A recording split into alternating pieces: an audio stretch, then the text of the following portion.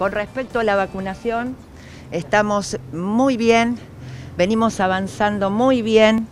Eh, prácticamente el personal docente eh, tiene un alto porcentaje de vacunación, 96% de segunda dosis y más del 80%, el 83% de dosis de refuerzo, o sea, un número muy importante.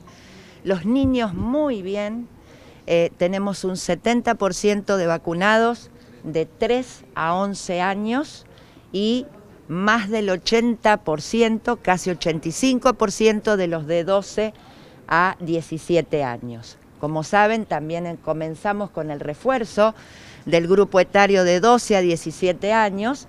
Recién empezamos hace 7, 8 días, por lo cual venimos avanzando y también tenemos una impronta importante.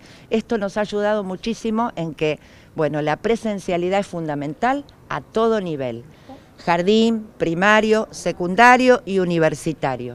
Volvemos a generar esa relación que necesitamos de sociabilización, por supuesto con cuidados, porque los niños, las niñas, los jóvenes aprendieron a cuidarse.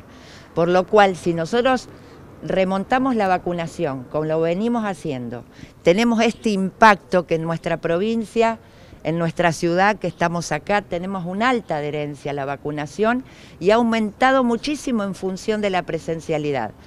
Quienes los chicos nos costaba un poquito, los de 3 a 11 años nos venía costando, eh, en los últimos 15 días han remontado de manera importante.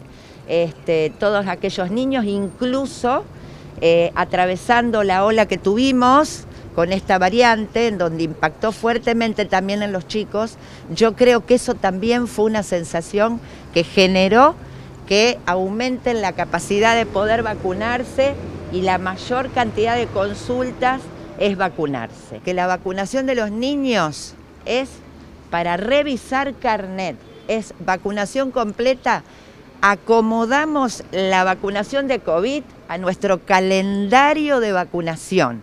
Entonces vamos a hablar a, partir de ahora de vacunación también integral y completa y consideramos nosotros que también COVID está dentro de los esquemas.